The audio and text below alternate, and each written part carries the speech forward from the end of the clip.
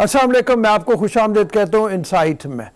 आज शबाज शरीफ साहब ने ये कहा कि पाकिस्तान की मीशत ऐसी सूरत हाल से दो चार है कि जहाँ पे बैरूनी कमर्शियल बैंकों से अब लोन लेने की सूरत हाल सामने हमारे आ रही है, जो एक अच्छा कदम नहीं है।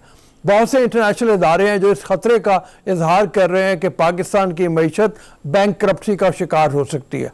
बैंक के नुकसान क्या होते हैं बैंक क्यों होती है और बैंक के नतीजे में कोई मुल्क किस तरह के मसाइल का शिकार होता है। ये भी कि इसे निकलने के लिए क्या तरीक़ेकार होना चाहिए, हम इस हवाले से बात करेंगे। सुहेल लाशारी इंडस्ट्रियलिस्ट हैं और फॉर्मर डायरेक्टर हैं चैम्बर ऑफ़ कॉमर्स के। असल सुहेल लाशारी साहब। वालेकुम अस्सलाम। सर, बहुत से इदारे ऐसे हैं जो इस वक्त पाकिस्तान की मीशत को देखते हुए इंटरनेशनल इदारों से मेरी मुराद है ये कह रहे हैं कि ऐसे चांसेस हैं कि पाकिस्तान कहीं दिवालिया ना हो जाए। पहले तो यही है, आम आदमी की समझ के लिए कि कोई मुल्क दिवालिया कैसे होता है? ऐसे में जब उसके फॉरेन रिजर्व्स कम हो जाए, ऐसे में जब उसकी अदायगियों का तोज़न बिगड़ जाए, ऐसे में जैसे इम्पोर्ट एक्सपोर्ट का इम्बैलेंस बहुत ज़्यादा हो जाए, ये फैक्टर तो हैं, या इसके अलावा भी कई फैक्टर हैं? बिस्मिल्लाहमान देखिए दो तीन फैक्टर तो आपने गिनवा ही दिए हैं, मगर बुनियादी तौर पे जो बैंक है ना जी, वो तब होती है कि जब आपके मुल्क के, खासतौर पर जब मुल्क बैंक हो रहा होता है इंडिविजुअल का बैंक होना और होता है, या कंपनी का बैंक होना तो कि आप अपने जो डे टू डे के खर्चे हैं बजटरी आपके खर्चे हैं, वो आप पूरा ना कर सकें और फिर आप उसको गैप को पूरा करने के लिए दुनिया से नेशनली और नेशनली दोनों तरीकों से आप कर्जा लेते हैं और फिर वो कर्जा आप वक्त पे अदायगी नहीं कर सकते। तो इसको बैंक कहते हैं। अब उसके नज़दीक हम कैसे पहुँचे या हैं कि नहीं है, ये एक दूसरा सवाल है।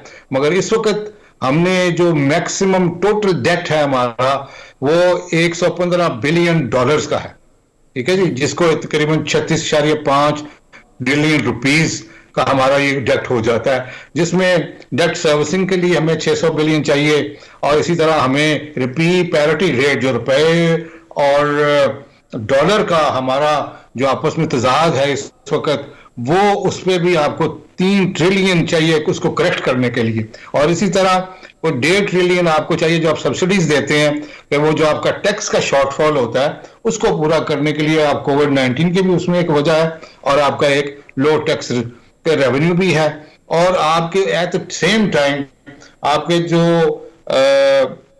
गवर्नमेंट के एक्सपेंसेस हैं ओवरऑल मतलब सारे बजटरी में जिस, जिसको आप बजट में लेते हैं, वो इतने ज़्यादा हैं कि आप उसको कंट्रोल नहीं कर पा रहे। इस वजह से इस वक्त पाकिस्तान को मौजूदा फौरी तौर पे अर्जेंटली 28 बिलियन डॉलर चाहिए कि वो आपके पास हो तो आप बैंक से निकल सकते हैं और वो आपको पता है कि वो इतनी जल्दी आप कहीं से हासिल नहीं हो सकते।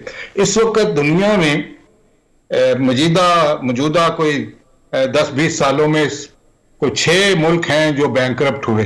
उनमें ग्रीस, आइसलैंड, अर्जेंटीनिया, रशिया और मेक्सिको शामिल है। अब जब एक मुल्क बैंक हो जाता है तो आपने अपने बहुत से एसेट्स जो हैं, वो गिरवी रखे होते हैं। तो वो जो गिरवी एसेट्स रखे होते हैं, जैसे हमने अपने एयरपोर्ट्स अपनी सारी मोटरवेज सारा कुछ गिरवी रखा हुआ है।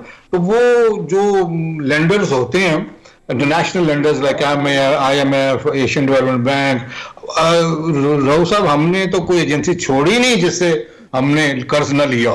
तो वो आपकी एसेट्स को कब्जा नहीं कर सकते, क्योंकि वो आपके मुल्क के अंदर होते हैं। फिर उसमें ये होता है कि आप रीनिगोशिएट करते हैं कोई टर्म्स एंड कंडीशन चेंज करते हैं कोई टाइम लाइन ले लेते हैं, कहीं से और से कर्जा पकड़ के उनको देने की कोशिश करते हैं। मगर जो आपके एसेट्स बाहर पड़े हुए हैं, जैसे अफगानिस्तानियों के साथ हुआ है कि उनके जो एसेट बाहर पड़े वो आपके कब्जे में आ सकते हैं। जैसे ग्रीस की एक दफ़ा शिप जो है वो पनामा में खड़ी थी तो उन्होंने उस पर कब्जा कर लिया था। मगर जो बुनियादी आपके अंदर वाले एसेट्स हैं वो कब्जा नहीं कर सकते। उसके लिए फिर आपको रीनिगोशिएट करना पड़ता है। और आ, फिर आप जो है ना जी इस जिससे जान बचाते हैं। मगर बुनियादी तौर पर यह है कि पाकिस्तान को आ, एक तो एफ़ ने बहुत मारा है। 2018 से आप कि इसके अंदर आए हुए हैं। और उसमें आपने 30 बिलियन डॉलर्स का नुकसान किया ऑफ़ द जीडीपी ठीक है जी? तो जब तक आप अपनी इंपोर्ट्स और एक्सपोर्ट्स पे जैसे आपने भी कहा, कोई कंट्रोल नहीं करते हैं, और बुनियादी तौर पे हमारी जो एक्सपोर्ट्स है ना जी, वो बढ़नी चाहिए। इंपोर्ट इजी वे है टू डू बिज़नेस कि। मैं बस चीज़ मंगवाई प्रॉफिट लेके इधर बेच दिया। इंडस्ट्रियलाइजेशन बहुत ज़रूरी है। और हाईटेक इंडस्ट्री इस वक्त दुनिया चल रही है। वो दौर चला गया आज से पंद्रह, दस साल पहले वाला भी कि आपको अब हाईटेक इंडस्ट्री लगानी पड़ेगी। और उसके लिए क्या करना है कि आपने फौरी अपनी जो एजुकेशन है, उसको हाईटेक की तरफ़ लेके जाना है। इसी तरह एग्रीकल्चर में भी हाईटेक इस्तेमाल करना है। वो लगाएँ आप फ़सलें जो कि हाई यील्ड दे रही हो, और इसी तरह ज़्यादा से ज़्यादा ज़मीन पर अंडर कल्टिवेशन लेके आए तो फिर कहीं जाके आज से पाँच दस साल बाद आप आहिस्ता आहिस्ता अपने पाँव पे खड़ा होना शुरू होंगे। देखिए, मैंने लास्ट टाइम भी शायद आपसे प्रोग्राम में कहा था कि तीन चीज़ें बहुत इंपॉर्टेंट हैं। वो ये है कि सबसे पहले कि अपने पाँव पे खड़ा होना, उसका मतलब ये कि आप अपने फैसले खुद कर सकें। आप अपने फैसले खुद नहीं कर सकते। आपके फैसले सारे इंटरनेशनल कम्युनिटी कर रही होती है आपके लिए जैसे कि आपने आईएमएफ में देखा कि वो आपसे क्या क्या शर्तें मना रहे हैं। फिर आपको होता है वेल्थ क्रिएशन इस मुल्क में कोई अमीर हो जाए सब उसको पकड़ने के पीछे पड़ जाते हैं कि अमीर कैसे हो गया। You have to create wealth in this country ताकि वो आगे से इंडस्ट्री लगाएँ वो आगे से टैक्स दें। और तीसरा फिर यह है कि आप मिलिटरी सिक्योरिटी वाइज स्ट्रांग हो लॉ एंड ऑर्डर की सिचुएशन ठीक हो। तो आ, पाकिस्तान को अपनी जो बजट एक्सपेंसेस है ना जी, वो कम करने पड़ेंगे। आपको स्किल एजुकेशन देनी पड़ेगी। और इसी तरह जो डे टू डे रोज़ाना की करप्शन जो है ना, जो मैं समझता हूँ कि एवरीडे करप्शन है, वो मैं बड़ी करप्शन की बात अभी नहीं कर रहा। तो वो जब तक आप कंट्रोल नहीं होगी तो इसी के साथ साथ आप टैक्स पेयर को इनकरेज करें कि वो टैक्स दे और टैक्स को रेशनलाइज करें। ये चंद तरीके हैं जो अभी भी मिड टर्म और शॉर्ट टर्म है, जिनके ऊपर आप समझें कि अगर कार्रवाई की जाए तो हम इस जो ब्रैकम्सी जो फाइनेंशियल ब्रैकम्सी है, उससे निकल सकते हैं। मगर राहु साहब, असल बात ये नहीं है। फिर इसमें दो दो जुमले और मैं कहना चाहूँगा। वो ये है कि फाइनेंशियल बैंक्रप्सी की तरफ़ तो आपको सारों को ध्यान है, मगर जो मॉरल हम बैंक हो गए हैं ना जी, असल वजह वो है। कि कोई चीज़ इस मुल्क में एक नंबर नहीं है दूध से लेके दवाई से लेके। तो आप कैसे एक्सपेक्ट करते हैं कि ये कौम पनपेगी ये कौम आगे चलेगी? मैं ज़्यादा वरिड हूँ मॉरल करप्शन की तरफ़ से। ठीक है शायद करप्शन आप कंट्रोल कर लें।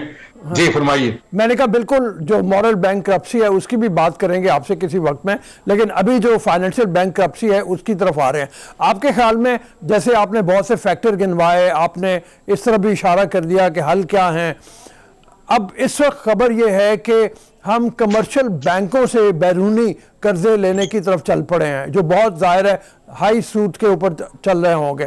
तो ये फौरी तौर पे सोल्यूशन है इस बात का।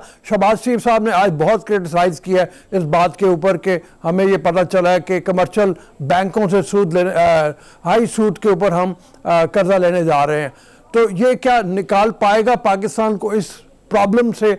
ये सोल्यूशन या ये तनकीद, ऐसी तनकीद, बड़ा तनकीद है।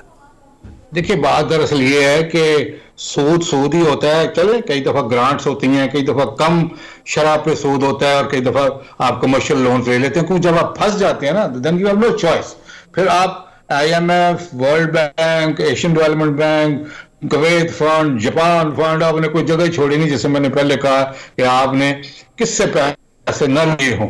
देखिए आईएमएफ ने आपको छह ट्रिलियन डॉलर देने थे। 2019 में ये बात हुई थी कि वो साढ़े तीन सालों में देंगे। अभी तक उन्होंने सिर्फ़ दो ट्रिलियन दिए हैं दो साल गुजर गए हैं। डेढ़ साल में वो आपको क्या देंगे? तो इसलिए कर्ज की कब तक पिएगा गालिब कहता था तो, तो फाका मस्ती रहेगी रंग एक दिन। तो ये ये हमारी फाका मस्ती एक दिन रंग ले आई है ना जी? हाँ। तो असल बात ये है कि एक से कर्ज लेके दूसरे को वापस कर देना उससे लेके जैसे क्रेडिट कार्ड पे कुछ लोग करते हैं ये सोल्यूशन बिल्कुल नहीं है। देखिए हर दौर में महँगे कर्जे भी लिए गए अननेसेसरी प्रोजेक्ट्स भी लगाए गए। आपको इल्म है कि इस वक्त जो आपका कैपेसिटी चार्जेस आप लोगों को दे रहे हैं वो कितने ज़्यादा हैं? और वो कैपेसिटी चार्जेस भी एक रीजन है कि आप डेट में आ रहे हैं। क्योंकि आपने वो जो बिजली घर बड़े बड़े पावर स्टेशन लगाए। इसी तरह आपकी जो सिख इंडस्ट्री है, सारी गवर्नमेंट की जितनी सिख पाकिस्तान स्टील मिल ले लें रेलवे नुकसान में है पीआईए नुकसान में, मैं किस किस का नाम लूँ? तो वो जो फैक्टर्स है ना जी, कि आप प्रॉफिटेबल नहीं है, जो कुछ लोगों ने कहा कि Pakistan is not in profitable country in that sense कि आप अपने कर्ज वापस कर सके और इतना कमा सके। हमें आउट ऑफ़ द बॉक्स सोचना पड़ेगा राउत साहब, और वो ये है कि सारे मुल्क को आप डिक्लेयर करें as an S G special economic zone और जो मराते दे सकते हैं, आप इनको दें इस वक्त it's not a normal time right now ना ही नॉर्मल असूल चलेंगे। और यहाँ इंडस्ट्री लगाने की यहाँ एनओसी लेना हो एक इजाज़त लेनी हो तीन महीने लग जाते हैं। तो आप क्या समझते हैं कि इस तरह से कौम चलेगी? Give them a free hand ठीक है उसमें कोई थोड़ी बहुत गड़बड़ भी होगी। गड़बड़ तो हम वैसे भी कर ही रहे हैं मगर एक फ्लाई व्हील चलना शुरू हो जाएगा। जब चलना शुरू हो जाएगा फिर आप टैक्स भी लें आप उनसे प्रॉफिट भी लें। मेरी दूसरी एक बहुत ज़रूरी मैं बात करना चाहता हूँ आपके तो असल से वो ये कि एक्सपोर्ट एक्सपोर्ट जो है ना वो सिर्फ़ मैं नहीं कर रहा है इंडस्ट्रियलिस्ट कौम को सोचना चाहिए कि पूरी नेशन एक्सपोर्ट कर रही है। एफ़ बी आर समझे ये मैं भी एक्सपोर्ट कर रहा हूँ जो ट्रेलर ये जा रहा है ये मेरा है ये जो कंटेनर है वो कस्टम वाला भी समझे कि मेरा है। और कस्टम क्लियरेंस वाला इंस्पेक्टर भी समझे मेरा है क्योंकि ये पाकिस्तान का कंटेनर बाहर जा रहा है। अगर जब तक आपकी ये सोच नहीं होगी और हर जगह हिंड्रेंस होगी कि जी कस्टम वाला पकड़ रहा है इंस्पेक्टर पकड़ रहा है ट्रांसपोर्ट वाला पकड़ रहा है पुलिस वाला पकड़ रहा है export should be treated as the entire project of the nation और फिर मैं समझता हूँ कि आप जैसे जैसे फैसिलिटेट करेंगे, बहुत जल्दी आप देखेंगे कि इसमें चेंज आना शुरू हो जाएगा। मगर ये जो इस वक्त हम on the brink of bank है, उसके लिए आपको लोन ही लेना पड़ेगा और कोई तरीका नहीं है, क्योंकि जो मैं सजेशंस दे रहा हूँ, ये तीन, चार, पाँच साल लगेंगे। मगर इस तरफ़ फिर पहला कदम बढ़ाएँगे तो होगा ना। थैंक यू सर जैसे आपने कहा कि हमारा वाय दल यही है कि हम एक्सपोर्ट करें एक्सपोर्ट करें एक्सपोर्ट करें, अपनी इंपोर्ट को कम करें। और एक्सपोर्ट जब करते हैं तो इस वक्त जैसे इंडस्ट्रियल समझता है कि वो एक्सपोर्ट कर रहा है, इसी तरह से एफबीआर के लोगों को, हर बंदे को ये सोचना चाहिए कि इस एक्सपोर्ट में वो भी कॉन्ट्रीब्यूट कर रहा है। ये लॉन्ग टर्म सोल्यूशन है। शॉर्ट टर्म सोल्यूशन शायद यही है कि हमें और लेन लोन लेने पड़ेंगे और और लोन हमें बहुत महँगे दामों मिलेंगे, बहुत महँगे सूद के ऊपर मिलेंगे। मीशत को निकालना है। मीशत को निकालने के लिए मुश्किल से, इस वक्त जिस मुश्किल का हम शिकार हैं, इससे हमें निकलना है। इसके लिए और बहुत से तदारुक हैं जिनका सुहेल आचार्य ने अभी ज़िक्र किया अपने इंटरव्यू में हमारे साथ। अभी चलते हैं एक ब्रेक की तरफ़। ब्रेक के बाद वापस आएँगे। अगले सेगमेंट में आपसे मुलाकात होगी।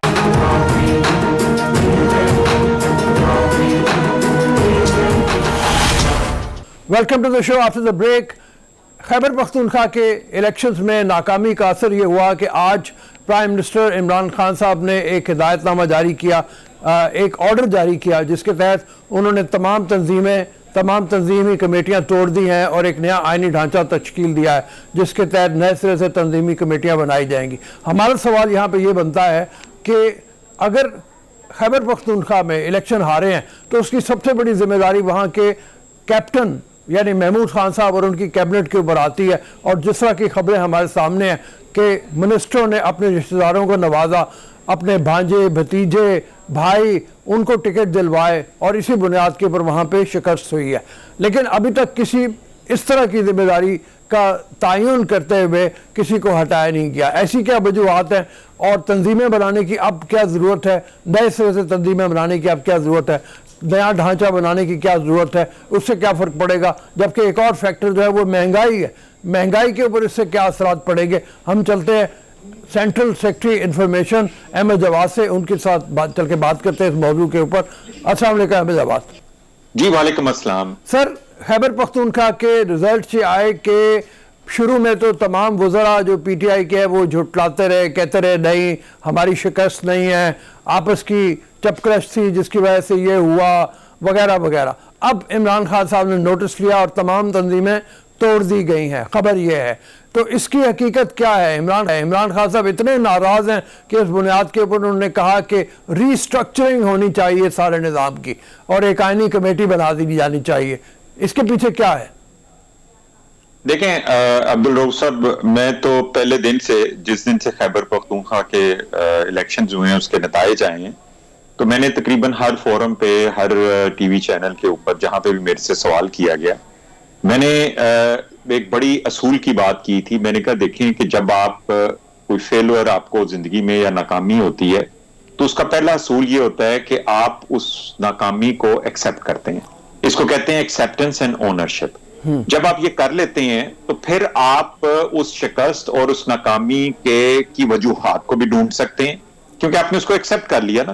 तो सबसे पहले हमें जो चीज़ है वो एक्सेप्ट करना चाहिए कि तकरीबन सवा आठ साल एक तसलसल के साथ खैबर पख्तूनख्वा में हुकूमत होने के बावजूद 2018 में एक बहुत बड़ा मैंडेट लेने के बावजूद दूसरी दफ़ा केपी का मैंडेट लेना जो कि इससे पहले तारीख में ही था लेने के बावजूद अगर हम बलदियाती इलेक्शंस में हार जाते हैं और दूसरे नंबर पे आते हैं तो इसको शिकस्त ही कहते हैं।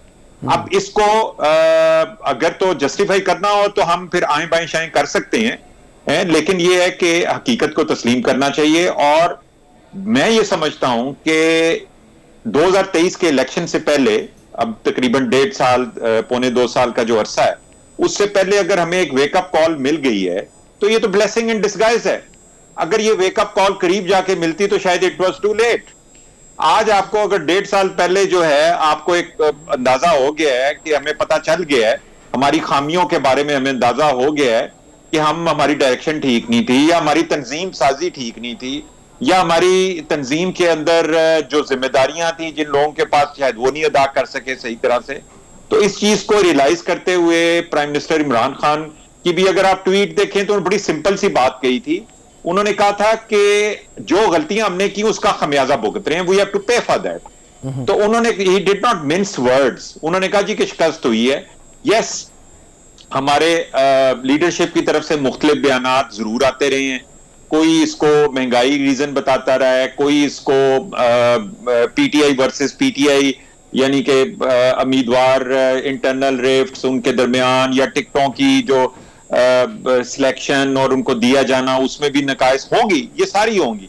मैं इसीलिए तो ये कह रहा हूँ कि हमें अपनी नाकामी का पोस्टमार्टम करने की ज़रूरत है। उसमें देखना है कि हम कहाँ कहाँ पे हमारे से गलतियाँ हुई हैं। चाहे वो उम्मीदवारों के वाले से हुई है चा, चाहे वो महँगाई का इम्पैक्ट है या असर है कि लोगों ने इस तरह से रिएक्ट किया है। या हमारी गवर्नेंस के साथ कोई इशू है या हमारी तंजीम में कोई प्रॉब्लम है या हम अपने हल्के के लोगों के साथ रबते में नहीं रहे हुकूमत में आने के बाद। या फिर जो फेडरल मिनिस्टर्स बने या प्रोविंशियल मिनिस्टर बने या चीफ मिनिस्टर बने वो अवाम के साथ वो रबता नहीं रख सके या अवाम की तो को नहीं समझ सके या उनकी तो को पूरा नहीं कर सके। तो ये सारी चीज़ें तो देखनी होंगी ना। ये हकीकत पसंदी से देखी जा सकती हैं। अच्छा और जी। जी ये फरमाइए कि मतलब अगर फ़र्ज़ क्या महँगाई कॉज है सबसे बड़ी वजह महँगाई है। जो समझ में आती है बात तमाम तर लोग यही कह रहे हैं कि महँगाई है। उसके अलावा महमूद खान साहब की क्यादत के ऊपर भी सवाल उठ रहे हैं। उसे तंजीमों का क्या ताल्लुक बनता है? तंजीमें क्यों फौरी तौर पर तोड़ दी गई हैं? और अब जो आइनी स्ट्रक्चर नया बनाया गया, उसका मैंडेट क्या होगा? अच्छा हमारी पार्टी के अंदर तंजीमें तोड़े जाने का यह कोई पहला वाक्य नहीं है। माजी में भी आ, एक दम से दो तीन ऐसे वाकयात हो चुके हैं कि जब तंजीमें तोड़ी गई। और आपका ये सवाल कि इंतबात हम के पी में हारे हैं और वहाँ पे कैप्टन ऑफ़ द शिप जो था वो महमूद खान था तो तंजीम तोड़ने की क्या वजह है? देखिए मैं ये समझता हूँ अब्दुल रऊ साहब कि किसी भी सियासी जमात की तंजीम चाहे आप हुकूमत में हैं या हुकूमत से बाहर हैं सबसे ज़्यादा जो अहम किरदार होता है एक पार्टी का इलेक्शंस के अंदर या इलेक्शन से पहले या इवन इलेक्शन के बाद वो तंजीम का होता है या होना चाहिए? अगर नहीं है तो होना चाहिए। तंजीम एक सियासी पार्टी की, की कामयाबी या उसकी नाकामी के पीछे होती है। अगर आपकी तंजीम अच्छी है आपके लोग ऑर्गेनाइज्ड हैं आपका नेरेटिव जो है वो आपके वोटर और आपके वर्कर तक पहुँचा हुआ है कि नहीं पहुँचा हुआ?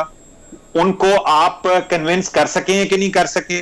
उनको आप इन्वॉल्व कर सके हैं कि नहीं कर सके? क्या वो नाराज़ हैं? उनकी नाराज़गी की क्या वजह है? तो इसमें कोई शक नहीं है कि तंजीम एक बड़ा इंपॉर्टेंट फैक्टर है एक सियासी पार्टी की नाकामी या उसकी कामयाबी में। अच्छा तो जो सवाल मेरे साथ साथ ही आधा रह गया, वो ये है कि महँगाई मुझे तो मेन कॉज लगती है। एक महमूद खान साहब हमने बात की थी। महँगाई को काबू पाने के लिए फौरी तौर पे कोई इकदाम होने चाहिए थे। वो इकदाम नज़र नहीं आए। उसकी बजाय तंजीमें तोड़ दी। और फिर जो आइनी स्ट्रक्चर नया बनाया, मैं ये भी जानना चाह रहा हूँ कि उसका अब मैंडेट क्या होगा? क्या नए सिरे से तंजीमें बनाएँगे? इलेक्शन नए होंगे? क्या करेंगे? देखें जो आपका पहला सवाल है कि महँगाई बुनियादी इसकी वजह बनी है या नहीं बनी? देखें मल्टीपल फैक्टर्स हैं। महँगाई भी होगा, ज़रूर एक फैक्टर होगा बीच में। लेकिन मैं ये समझता हूँ कि एक हुकूमत की परफॉर्मेंस उसको आप किसी एक फैक्टर से या दो फैक्टर से नहीं जज करते। ये एक ओवरऑल तो होती हैं अवाम वो तो चाहे वर्कर्स की थी वोटर की थी या अवाम की थी? अब वो तो जो हैं, वो पूरी अगर नहीं हुई किसी वजह से, या वो उसमें महँगाई का तूफ़ान जो है, उसने भी कंट्रीब्यूट किया है, लेकिन हमें इसको बड़े लार्ज कैनवस में देखने की ज़रूरत है। हमें ब्रॉडन करना पड़ेगा अपना जो देखने का अंदाज है। हम किसी अगर एक फैक्टर को लेके बैठ जाएँगे तो हम दूसरी खामियों को नजरअंदाज कर जाएँगे। इसलिए हमें महँगाई है, बिल्कुल है, कोई शक नहीं है इसमें। और हमें अवाम को रिलीफ देना है। इसमें कोई दो राय नहीं है। तंजीम साजी अगर हमारी अच्छी होती तो हम इन इलेक्शंस के रिज़ल्ट तक ना पहुँचते। अगर कैप्टन ऑफ़ द शिप जो कि चीफ मिनिस्टर होता है एक सूबे का, जहाँ पे हम बल्दियाती इलेक्शन हारे हैं, अगर वो अपना किरदार सही अदा कर रहे होते तो तब भी हम इस रिज़ल्ट तक ना पहुँचते।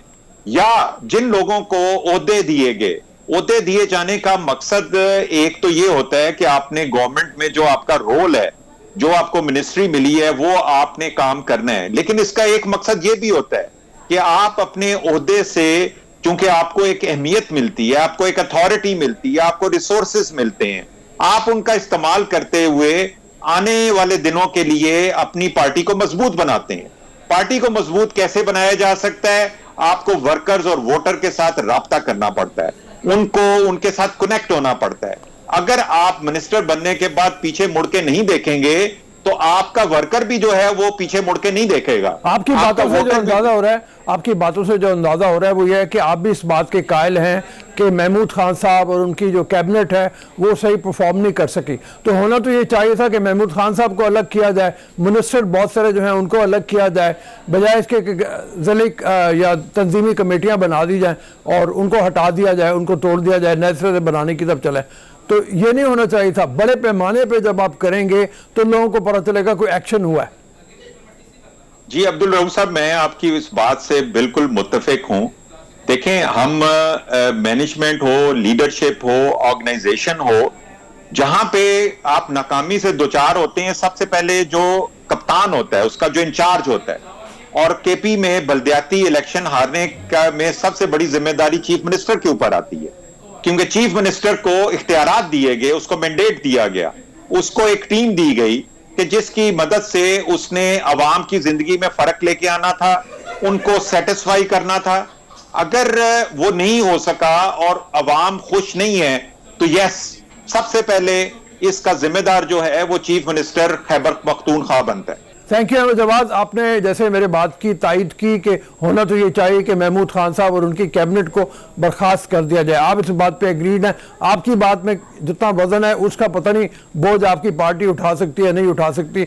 लेकिन नतीजा यही है कि सबसे पहले ज़िम्मेदारी का तयन होना चाहिए और ज़िम्मेदारी का तयन यही है कि महमूद खान और उनकी कैबिनेट परफॉर्म नहीं कर पाए।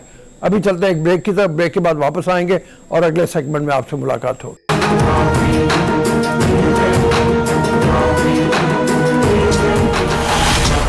Welcome to the show after the break अगर देखा जाए तो पीपल्स पार्टी हो नून लीग हो और तहरीक इंसाफ हो, तीन ही की तरफ़ से बहुत सख्त तुम तेज किस्म के बयान सामने आ रहे हैं। जरदारी साहब ने तो कह दिया कि सबसे पहले अगर हमसे कोई फार्मूला पूछना है तो यह है कि इनसे जान छुड़ाई जाए। और फिर उन्होंने करप्शन के इल्ज़ाम भी लगाए, इमरान खान की पार्टी के ऊपर बहुत तरह के इल्ज़ाम लगाए, नाहली की बात की, जिसके जवाब में फवाद चौधरी साहब ने कहा कि हमारा वास्ता सियासी बोनों से पड़ा हुआ है। और ये कि ये जब बयान देते हैं, उस वक्त तक तो बड़े अकड़ अकड़ के सामने आते हैं, लेकिन जैसे इनसे इतसाब की बात की जाए, ये व्हील चेयर में पहुँच जाते हैं और ये दोबारा व्हील चेयर में नज़र आएँगे। शबाज शरीफ शबाज शरीफ साहब ने भी कहा कि बहुत जल्द हमारा हाथ होगा और इनका गिरेबान होगा। इस तेज़ी की वजह क्या है? क्यों इतनी तेज़ी आ गई है? क्या अपोजिशन ये समझ रही है कि इस वक्त जो शिकस्त हुई, खैबर पख्तूनख्वा के इलेक्शन में तहरीक इंसाफ को वो पेश खैमा है इनकी रुखसती का। जैसे मरियम नवाज़ ने भी कहा कि ये जो तब्दीली है ये आ नहीं रही है जा रही है। इसके पीछे क्या वजूहत हैं? क्यों ये इस तरह के बयान आ रहे हैं? हम चल के बात करते हैं तैमूर सूबाई वज़ीर है पीपल्स पार्टी के सिंध से। असलम तैमूर। सर देखने में यह आया कि इस वक्त सियासत में नए सिरे से बड़ी तेज़ी आ गई है। इस सेंस में कि एक दूसरे के ऊपर इल्ज़ाम बहुत ज़्यादा लग रहे हैं। पिछले दिनों जरदारी साहब ने भी एक स्टेटमेंट जो दी, वो बड़ी एग्रेसिव थी। तो क्या पीपल्स पार्टी अब एक एग्रेसिव स्टांस पे जाने लगी है? लगी है। देखिए, जरदारी साहब ने सियासत की बात की है। उन्होंने जाके और जो पाकिस्तानियों का हक, जो कि इमरान खान ने उनसे छीन लिया है महँगाई में करप्शन के हिसाब से वो वापस दिलाने की बात की। है मेरे ख्याल से सियासत में ये ऑल पार्ट ऑफ़ डेमोक्रेसी और मेरे ख्याल से ये स्टांस हमेशा से जरदारी साहब का रहा है, पर वो हमेशा सोच समझ कर और अपने जो कार्ड्स खेलते हैं तो बड़ा कैलकुलेटेड खेलते हैं, इसलिए जरा परेशानी हकूमत में कुछ नज़र आती है। तो ये जो आपको जवाब में कल फवाद चौधरी साहब ने कहा कि हमारा मुकाबला सियासी बोनों से है और फिर ये कि बहुत जल्द ये लोग व्हील में नज़र आएँगे। इसके बारे में क्या कहेगा? देखिए जी कौन व्हीलचेयर में जाएगा और कौन व्हीलचेयर में नहीं जाएगा ये तो अल्लाह बेहतर जानता है। पर फ़िलहाल जो है आ, मुझे पता नहीं क्या समझ रहे हैं फवाद चौधरी साहब इन सिचुएशन जहाँ पर उन्होंने फ़िलहाल हमारे पूरे मुल्क को व्हीलचेयर पे और बैसाखियों पे बिठा दिया है। और मेरे ख्याल से इस मुल्क को इन बैसाखियों से उठाने के लिए जरदारी साहब और चेयरमैन बिलावल भुट्टो साहब से लोगों की उम्मीदें वाबस्ता हैं। इस किस्म की जो बातें गिरी हुई, घटिया किस्म की करते हैं फवाद चौधरी साहब तो वो अपना जो एक्चुअल स्टांस है, अपने दिल का, अपनी जहनीत का वो सामने लाते हैं। मेरे ख्याल से सियासत में अगर बेहतर लफ्ज इस्तेमाल किए जाए और बेहतर बेहतर ग्रामर यूज़ की जाए तो it will give a better perception जो परसेप्शन एक खत्म और खराब हो चुका है पीटीआई का, उसको और ज़्यादा बदतरीन किया जा रहा है मेरे ख्याल से। आपके ख्याल में वैसे जरदारी साहब की सेहत इन दिनों बेहतर है? वो एक्टिव नज़र आ रहे हैं और क्या वो एक्टिव रोल दोबारा प्ले करेंगे? देखिए जरदारी साहब हमेशा से एक्टिव रहे हैं। आपकी जब पीडीएम भी चल रही थी और जो पीडीएम में हमारी सक्सेस स्टोरीज थी और जो पीडीएम में जिस तरह से हमने इलेक्शंस जीती जिस तरह से गिलानी साहब आए तो इन सब चीज़ों में जरदारी साहब का किरदार था। वो हमेशा एक्टिव रहे हैं। बैकग्राउंड में हमेशा उनका जहन होता है जो काम कर रहा होता है। और अब वो जो है जैसे जैसे इलेक्शन का वक्त करीब आ रहा है तो वो अपनी फ़िज़िकल प्रेजेंस भी हर जगह पर ला रहे हैं। चाहे लाहौर हो चाहे नवाबशाह हो, चाहे कराची हो you will see him everywhere इंशाल्लाह ताला। एंड यू नो जरदारी साहब is always been a game changer और आपको बहुत बेहतर खबरें बहुत कम टाइम में सुनने को मिलेंगी। अच्छा जो खबरें हैं, उसकी अगर बात देखी जाए तो खैबर पख्तूनख्वा में जो इलेक्शन हुए बल्दियाती उसमें पीपल्स पार्टी की परफॉर्मेंस को बहुत अच्छी नहीं रही पहले फ़ेज़ में। तो इसको एज एन अलार्मिंग किस्म की खबर देखते हैं वो चीज़ देखते हैं। जरदारी साहब भी बिलावल भी और आगे की प्लानिंग क्या करते हैं फिर? देखिए रब साहब you have to keep in mind कि हमारी सिचुएशन जो थी वो इतनी कोई अच्छी नहीं थी केपीके में। आ, हमें बहुत मेहनत की करने की ज़रूरत है और मेहनत कर रहे हैं। सेकेंडली आपको मैं ये भी बता चलूँ कि उन हलकों में इस बार इलेक्शन कराया था इमरान खान न्याजी ने। जिनमें उनको हंड्रेड परसेंट जीत का यकीन, यानी कराई गई थी, जिनमें इनके खास खास फेडरल मिनिस्टर्स के हल्के थे, इनके पार्टी लीडरशिप के हल्के थे, जहाँ पर सारे ये नील बटा नील फेल हो गए। अच्छा अब अगर वहाँ पे कंपेयर करते हैं जो वोट्स पाकिस्तान पीपल्स पार्टी के कैंडिडेट्स को मिले हैं तो बहुत अच्छे वोट्स मिले हैं और बहुत हमने अच्छे मुकाबले किए हैं। ऑफकोर्स हम जीते नहीं फैक्ट इज़ अ फैक्ट पर हमने हमारे जो लोगों ने जो वोट्स उठाए हैं काफ़ी जगहों पे वो काफ़ी अच्छे वोट हैं, बहुत इंप्रूवमेंट और इंकरेजमेंट मिली है वहाँ पे पाकिस्तान पीपल्स पार्टी के जालों को। और अब आप जब आगे फ़ेज़ में जाएँगे, जो बाकी डिस्ट्रिक्ट रहे हैं केपी के में जो ये वैसे इनके स्ट्रॉन्ग होल्ड नहीं है, वहाँ पे आप देखेंगे इनको और बदतरीन शिकस्त मिलने वाली है। वैसे ये देखने में आया खैबर पख्तूनखा के इलेक्शन में कि वो पार्टी जिसे अलायंसेस बनाए हैं, जैसे पीडीएम के प्लेटफॉर्म से वो जीते हैं तो उनको फ़ायदा हुआ है। तो अब जो आगे इलेक्शन हो गए या पंजाब में होते हैं, वहाँ पे पीपल्स पार्टी ये सोचेगी कि किसी अलायंस में वापस आए या अलायंसेस बनाए। आसिफ अली जरदारी साहब सियासी आदमी है, सियासी सोच रखते हैं। चेयरमैन बिलावल भुट्टो साहब भी अलायंस का फैसला अगर करेंगे तो कोई मुझे सरप्राइजिंग बात नहीं लगेगी। जहाँ पर भी हम इन करप्ट तरीन ना अहल पीटीआई के लोगों को हरा सकते हैं, मेरे ख्याल से हमें हर मुमकिन कोशिश करनी चाहिए और हर वो स्टेप लेना चाहिए और अगर बाकी जमातें हैं, चाहे नून लीग हो, चाहे कोई और पार्टी हो, मेरे ख्याल से सियासी अलायंस बनाना एक फ़ायदेमंद चीज़ है। अगर हम अपने वोट बैंक को, उनके वोट बैंक के मिला के और इनसे जान छुड़ा सकते हैं तो what else do we need जी जरदारी साहब ने भी जब ये कहा कि पहला सवाल ये है कि इनसे जान छुड़ाई जाए। इस वक्त शबाज शरीफ भी यही बात कह रहे हैं ए एन पी भी यही बात कहती है, मौलाना फजल रहमान भी यही बात कहते हैं। लेकिन कैसे छुड़ाई जाए, ये जब तक सब इकट्ठे नहीं होंगे, उस वक्त तक मुमकिन नहीं होगा। जी, बिल्कुल राव साहब, मेरे ख्याल से आपकी बात बजा है, आपकी बात में बहुत वज़न है और हम सियासी लोग सियासत में इन चीज़ों पे चलना जानते हैं और मैं समझता हूँ कि और बेहतर इंशाल्लाह ताला बनेंगे हमारे अलायंसेस मैं समझता हूँ कि शायद अगर उस वक्त जब हम, हमारी अलायंस थी, अगर उस टाइम पर भी शहबाज शरीफ साहब एक्टिव होते तो पीडीएम इतने आराम से मेरे ख्याल से अलग ना होती और आज बेहतर बहुत बेहतर पोजिशन होती होती पीडीएम की। आपके कहने का मतलब यह है कि मरियम नवाज़ जो हैं उनकी जरा मिजाज में सख्ती है जिसकी वजह से ज़्यादा खराबी पैदा हुई है। देखिए जी एक्सपीरियंस की बात होती है। Shahbaz Sharif is a very experienced politician is a very good administrator काफ़ी खूबियाँ उनकी हैं जो मेरे ख्याल से अगर जरदारी साहब की गाइडेंस उनको मिलेगी तो उनमें बहुत बेहतर काम कर सकते हैं।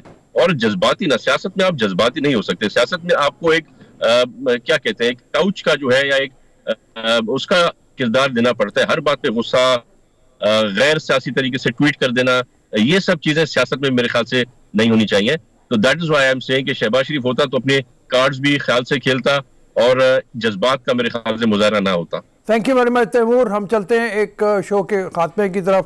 तैमूर ने जैसे बात की कि अगर शहबाज शरीफ होते तो शायद पीडीएम में पीपल्स पार्टी बाकी रहती, उसको छोड़ती ना।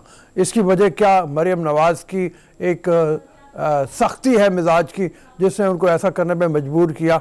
ये बात पीपल्स पार्टी कम अज़ कम लगता है कि सोच रही है। और बाकी अगर शरीफ एक एक्टिव रोल अपनाते हैं तो हो सकता है कि पीडीएम में पीपल्स पार्टी वापस आ जाए या किसी मुश्तरका प्लेटफॉर्म के ऊपर नून लीग के साथ खड़ी हो। हम चलते हैं शो के खात्मे की तरफ़। कल इंशाल्लाह आपसे फिर मुलाकात होगी। अभी इजाज़त दीजिए। अल्लाह हाफिज़ नासर।